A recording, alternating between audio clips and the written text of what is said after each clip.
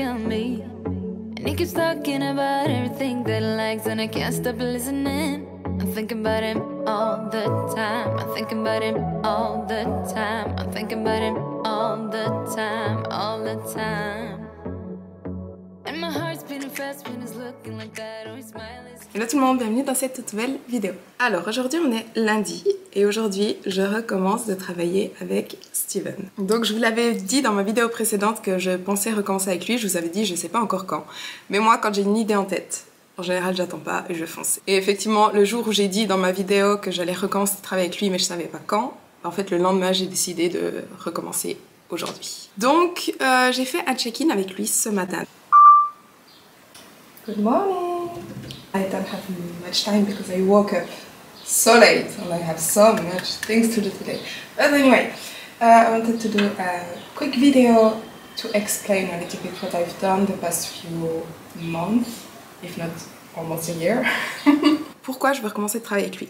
Bah, Comme je vous ai dit dans ma vidéo précédente, d'ailleurs si vous ne l'avez pas vu, je la mets ici en haut, j'ai pris euh, très rapidement un kilo, principalement parce que j'avais très très très faim juste avant mes règles à cause de mes, du syndrome prémenstruel. Pendant 4 jours, j'ai mangé entre 2800 et 3200 calories, quelque chose comme ça. Et ça m'a fait prendre un kilo très vite euh, qui, ne, qui ne partait plus. Ça faisait 3 semaines, 3 semaines et demie que j'étais pas 100% à l'aise dans mon corps. Et en fait, le but de recommencer de travailler avec Steven est en fait de retraquer mes macros en essayant d'atteindre des chiffres cette fois-ci, de respecter des macros. Bah, le but premier, c'est de reperdre juste ce kilo. Enfin, j'ai pas un chiffre en tête. Je veux pas absolument perdre un kilo ou perdre 2 kilos ou voilà. Mais j'aimerais juste à nouveau être bien dans mon corps. Donc, je sais pas que je suis mal dans mon corps, etc. Mais je suis pas 100% à l'aise comme j'étais avant. Donc, c'est juste à nouveau retrouver un physique dans lequel je me sens bien et, vraiment dans lequel je suis à l'aise tout simplement. Et honnêtement, je pense pas que ça va prendre très long. hein. À mon avis, dans deux ou trois semaines, j'aurai déjà retrouvé euh, ce corps-là. Mais j'ai aussi un petit peu envie de retrouver une structure parce que ça va, ça fait bientôt une année que je compte plus vraiment mes macros pour atteindre des chiffres. Et voilà, c'est un petit peu par phase. Et en ce moment, j'ai j'ai envie d'avoir un petit peu plus de structure. Et aussi, ben voilà, j'ai un petit peu peur, honnêtement, que mes SPM de ce mois soient de nouveau aussi forts et que de nouveau je mange trop et que je reprenne un kilo, etc. Et, euh, et du coup, je me dis que si je continue mes macros, moi, ça me permet d'avoir un cadre et de ne pas prendre un kilo chaque mois. Parce qu'honnêtement, ça, ça ne va pas le faire. So I wanted to start coaching again because I don't feel like super comfortable right now. Uh, I could be a little bit tighter, I think. Du coup, je voulais vous faire un petit récap tout d'abord de ce que j'ai fait depuis la fin de ma saison. Donc depuis août, lorsque j'ai terminé mes concours, donc mon dernier concours c'était le 20 août 2022. Au plus bas durant ma prep, j'étais descendue à 47 kg, 47 et demi je crois, et euh, juste à la fin de mes concours, j'étais à 52 kg. Donc j'ai terminé ma saison à 52 kg. Aujourd'hui, donc sur les vidéos que vous avez vues avant, je fais 65 kg. Donc j'ai pris 13 kilos depuis août passé. Je vais vous expliquer comment et ce que j'ai fait. Du coup, août passé, fin de mes concours. Vous savez que mes deux derniers concours se sont mal passés. Mon corps a fait un burn-out, j'ai perdu beaucoup de poids, beaucoup de muscles, tous tous mes muscles. Et j'étais vraiment au bout, physiquement, mentalement, euh, niveau santé, catastrophe, hormones, etc. Je vous ai fait des vidéos sur le sujet, vous pouvez les retrouver. Je vous en mets une ici en haut. Mais donc, depuis là, j'avais continué à continuer ma macros, je pense, pendant environ un mois, un mois ou cinq semaines, je crois, euh, à travailler avec Steven, du coup. Et honnêtement, après cinq semaines, je me sentais bien et capable d'arrêter de compter mes macros et j'en avais besoin aussi. Alors c'était pas uniquement j'en ai besoin, c'est aussi que je me sentais prête. Parce que je savais que si j'avais le risque de ne pas réussir à me contrôler vis-à-vis de la nourriture, ça ça arrive très très souvent après des concours tellement on a faim, tellement on est maigre. euh, si je savais que j'avais ce risque-là, je ne l'aurais pas fait. Mais là je savais vraiment, j'étais très très sereine vis-à-vis de la nourriture et j'avais juste besoin de m'écouter plus, de manger à ma faim et de reprendre du poids. Donc c'est exactement ce que j'ai fait. J'ai arrêté de compter, je pense, euh, je dirais en septembre, fin septembre, je sais plus exactement. Et entre, bah du coup entre août et janvier, fin janvier, j'ai pris 10 kilos. Je suis montée à 62 kilos. Et fin janvier, le 31 janvier, je suis partie en voyage. J'ai fait 6 semaines de voyage. Je suis allée en Australie, je suis allée à Bali, je suis allée à Singapour. Et lorsque je voyage, j'ai tendance à moins manger que d'habitude. Donc là-bas, je sais que j'ai perdu un petit peu de poids au milieu de mon voyage, après 2-3 semaines, que j'ai repris un petit peu sur la fin. Parce qu'à Singapour, j'ai peut-être un petit peu plus mangé que, quand j'étais en, en Australie. Et du coup, je suis revenue de mon voyage exactement au même poids que quand j'étais partie. Donc à 62 kilos. Donc ça, c'était mars. En mars, je faisais toujours 62 kilos. Et quand je suis rentrée, euh, j'ai naturellement mangé un petit peu plus. Comme je vous dis, quand je suis en voyage, je mange moins. Donc je suis rentrée, j'ai retrouvé ma routine, etc. Et là, en un mois, j'ai pris encore 2 kilos. Donc mars en avril. Ouais, fin avril, je faisais 64 kilos. Et depuis fin avril jusqu'au mois passé, j'ai parfaitement maintenu à 64 kg. Toujours, alors je comptais mes macros, mais sans essayer d'atteindre des chiffres. Je vous l'ai déjà dit, je n'essayais pas d'atteindre des chiffres précis, mais je comptais quand même mes macros pour savoir où j'en étais. Après, je faisais des journées libres, je faisais des repas libres, etc. J'étais très flexible, mais au moins j'avais une idée de où j'en étais en termes de calories. Et je mangeais vraiment intuitivement. Je mangeais à ma faim, je mangeais tout ce que j'avais envie, et j'ai maintenu pendant plus de 3 mois à 64 kg. Et comme je vous ai dit, le mois passé, SPM, 4-5 jours à 3000 calories et là j'ai pris 1 kg que je n'ai pas reperdu les 3 semaines suivantes. Euh, et, du coup voilà, je suis à 65 kg maintenant et c'est pour ça que je recommence avec Steven. Donc voilà en gros ce qui s'est passé, euh, pourquoi je recommence à travailler avec Steven et quel est mon but. Ce qu'il s'est passé aussi, c'est qu'en mai je me suis blessée au dos comme vous le savez et ça fait 3 bah, mois que je ne peux pas m'entraîner comme d'habitude le bas du corps. Euh, je ne peux plus faire de squat lourd, je ne peux plus faire de deadlift lourd et c'est vraiment des types d'entraînement auxquels mon corps réagit très très bien. Du coup là je suis en très léger, je ne fais plus de squat, plus de deadlift ou alors j'essaie il y a 40 kg et ensuite en général ça pas trop du coup. Du coup, je continue pas, mais, euh, mais ouais, je, suis limitée au niveau des entraînements, ce qui n'a pas forcément aidé au niveau de ma composition corporelle. Et du coup, tout paraît j'ai l'impression que tout est plus mou que d'habitude. Si on veut, c'est un peu plus soft forcément. Après, j'ai pas non plus tout perdu parce que je continue quand même de m'entraîner et il faut pas beaucoup de, de, stimulation pour maintenir un muscle. Mais visuellement, c'est vrai que je me sens moins ferme, moins volumineuse que ce que j'avais l'habitude. Donc ça, l'entraînement limité plus euh, le, kilo par-dessus, ben voilà, ça fait que je suis pas à 100% contente de ma composition corporelle actuellement et que j'ai envie d'améliorer ça, tout simplement. So, just to sum up, from August to like January, I gained 10 kilos. And then I traveled for two months. So I came back weighing exactly the same as when I left. So in March, I was still at 62 and I kept tracking just to know where I was. I gained two kilos in about a month and uh, since then, so since May, it's my dishwasher, sorry. Since May, I uh, maintain at 64 kilos. So May, June, July, so for about three months. And right before Berlin, as I told you, I had really severe um, SPM and I was hungry as fuck. I was eating basically chicken, rice, and broccoli, but in bigger quantity because I was so hungry. And I had like, I was tracking, so I knew what I was doing. But for like four or five days, I was eating between 28 and 3200 uh, calories. And obviously, it's too much. So I was in a surplus. And I gained one kilo in two weeks, right before Berlin. And this is when I, this is since, since that I don't feel comfortable anymore.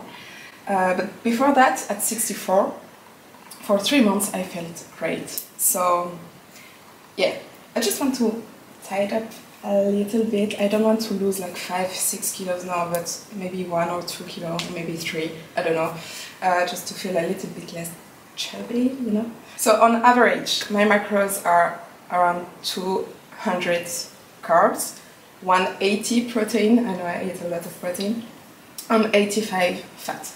I don't do any cardio, uh, about 12,000 uh, steps a day, and I still have my lower back injury. So training is really limited, but I train still four times a week. I just can't uh, do heavy squat and deadlift, and you know that my body responds very well to that kind of training. So I lost some muscle, I think.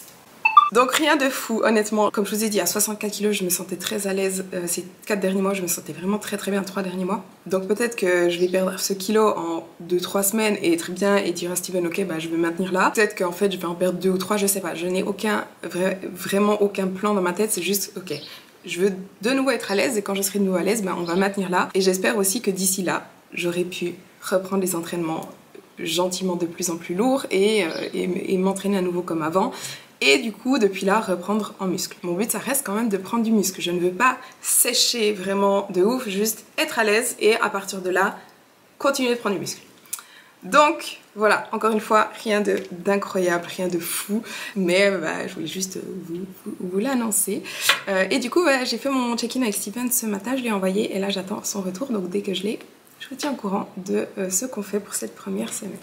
Alors j'ai reçu euh, le check-in de Steven, donc au niveau des macros, on se base sur ce que je mangeais avant à savoir, donc il veut pas dropper, euh, cutter les macros maintenant. Donc je lui avais dit qu'en moyenne, intuitivement, je mangeais environ 200 grammes de glucides, 180 grammes de protéines et 85 lipides.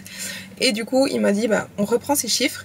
Et si tu as des jours où tu as faim, tu as plus faim, tu peux aller jusqu'à 210 protéines. I don't think we cut calories. Yeah, I would actually be okay with doing like a protein range also.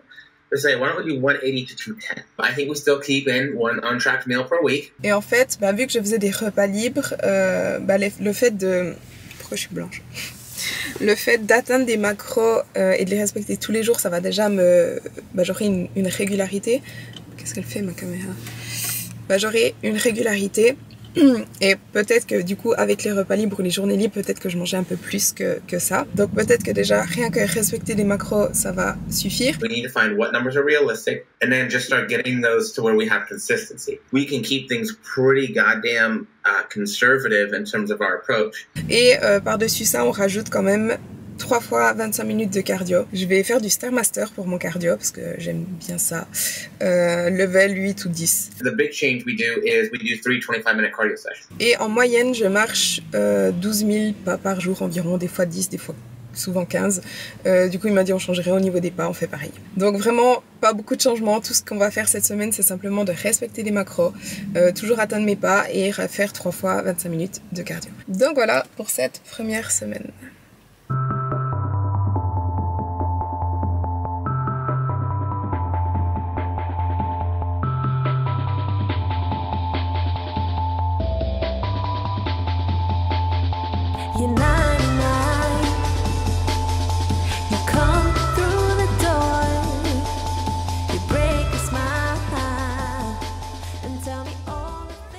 Alors, on est lundi, lundi d'après. Donc j'ai terminé ma première semaine euh, de coaching avec Steven. Donc on commence aujourd'hui la deuxième semaine et du coup je voulais vous faire un petit bilan de comment s'est passée ma première semaine, euh, comment je me sens, etc. Donc tout d'abord je vous ai filmé un physique update ce matin. Honnêtement après une semaine il n'y a pas de grands changements. Cela dit, je me sens déjà mieux. Franchement cette semaine je me suis vraiment de nouveau sentie mieux. Et étant donné que c'est le but ben, ça veut dire que ça avance déjà dans la bonne direction. Au niveau de mon poids, mon poids n'a pas énormément changé. Donc lundi passé, j'étais à 65,2. Milieu de semaine, mon poids est même monté à presque 66 et euh, hier et ce matin, j'étais à 64,9. Donc pas de gros changements au niveau du poids, mais ça avance aussi. Après, le poids, ce n'est pas le plus important, honnêtement. Et en ce qui concerne mes macros, cette semaine, euh, j'ai très très bien respecté. Donc en termes d'adhérence, au niveau des glucides, j'étais à 95%, protéines 100% et lipides 96%. Donc très bonne adhérence, même un petit peu plus basse au niveau des glucides et des lipides. Donc en moyenne, j'étais à 190 euh, glucides sur 200, 180 protéines sur 180 et 82 lipides sur 85. Vous savez, Steven m'avait dit de faire euh, que j'avais une fourchette au niveau des protéines entre 180 et 210 pour les jours où j'avais plus faim. Mais on va dire que je n'ai pas eu besoin d'utiliser euh, ces, ces, protéines, ces extra protéines, puisque je n'avais pas spécialement plus faim que ça. Et en fait, je compte l'utiliser seulement si j'ai de nouveau ces SPM super forts. Mais là, pour le moment, ça a l'air d'aller, donc je croise les doigts. La semaine passée, il me semble que j'ai oublié de vous dire aussi, j'ai un repas libre par semaine. Donc j'ai fait mon repas libre vendredi soir et euh, la journée, j'ai mangé 1000 1400 calories. Et le soir, du coup, j'ai fait, j'ai mangé des sushis, donc un sushi roll, donc c'était quoi 8 sushis California roll, 8 sashimi et euh, un ou deux verres de vin. Sinon, au niveau des entraînements, ben, j'ai fait mes 4 entraînements comme d'habitude. J'ai fait mes 3 séances de cardio, mes 3 séances de Stairmaster, level 10. Et j'ai fait en moyenne 12 500 pas par jour. Donc, euh, j'ai coché toutes les cases cette semaine, ce qui est d'ailleurs le but d'un coaching. Hein, de respecter le protocole. Le seul truc que je pourrais clairement améliorer cette semaine, c'est mon sommeil, c'est aller me coucher plus tôt. Depuis que je suis rentrée de Berlin, j'ai un rythme où je vais me coucher tard et je me lève tard et j'aime pas du tout ça. Donc faut vraiment cette semaine que je mette l'accent sur ça. Mais autrement, honnêtement, tout va bien. Tout avance comme il faut, je me sens bien, etc. Je m'attends à ne pas avoir de changement cette semaine, mais euh, ben, on verra ce que Steven me dit. Et comme vous avez vu, cette semaine, je n'ai pas vlogué parce que, ben, comme je vous avais dit, ces derniers temps, je les vlogs, ça ne... j'ai l'impression que je n'ai pas grand chose à filmer. Donc je me suis dit que j'allais documenter euh, ce, cette aventure, disons, un petit peu différemment, en faisant en fait plutôt des check-ins chaque lundi, en vous disant voilà comment ma semaine s'est passée, comment ça avance, comment je progresse, quels sont les changements, etc. Et plutôt documenter de, de cette façon-là, puisque au niveau des processus, je vous ai documenté euh, des pertes de poids, mes prêves, etc. au moins trois fois. Donc vous savez concrètement comment je procède. Cela dit, j'aimerais quand même pouvoir répondre à vos questions. Donc si vous avez des questions par rapport à tout ça, par rapport au processus, comment je m'y prends, ou des questions, peu importe la question que vous avez en fait, mettez-les moi dans les commentaires et j'y répondrai dans la prochaine vidéo YouTube. Donc là, je vais juste euh, enregistrer une petite vidéo pour Steven pour lui bah, lui dire tout ce que je viens de vous dire, en fait, faire mon check-in, lui envoyer mes photos, etc. Et dès que j'ai son retour, je vous dis euh, ce qu'on fait cette semaine. Very, very good adherence. Um, I was 95% on carbs, 100 on protein, and 96 on fats. So even a little bit lower on carbs and fats. I don't have a strong PMS yet, so finger crossed it doesn't come. I did my three sessions of cardio. I do Stairmaster, by the way. Alors, je viens de finir l'entraînement, je suis en train de manger une peanut butter cup protéinée. C'est hyper bon. parce qu'en fait il est 16h15 et j'ai plus rien mangé depuis mon petit déj ce matin donc je pète la dalle. Bref, j'ai reçu le check-in de Steven. Aucun changement cette semaine, c'est exactement ce que je pensais. On continue avec les mêmes macros, toujours 3 fois 25 minutes de cardio, toujours 12 000 pas par jour et un repas libre par semaine. We are seeing a very nice slow drop down. I don't think there's a reason to change anything this week.